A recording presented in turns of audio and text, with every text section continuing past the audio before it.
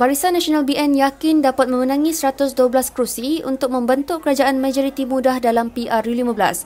Keyakinan itu disuarakan Perdana Menteri Datuk Seri Ismail Sabri Yaakob yang juga naik Presiden UMNO selepas taklimat bersama pemimpin utama UMNO dan BN pada Kamis.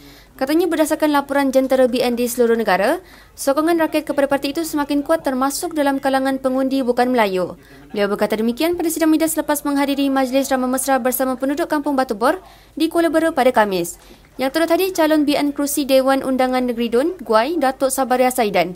Dalam pada itu, Ismail Sabri percaya sokongan dari rakan strategik parti dari Sabah dan Sarawak juga akan mampu memperkuatkan kerajaan yang dibentuk.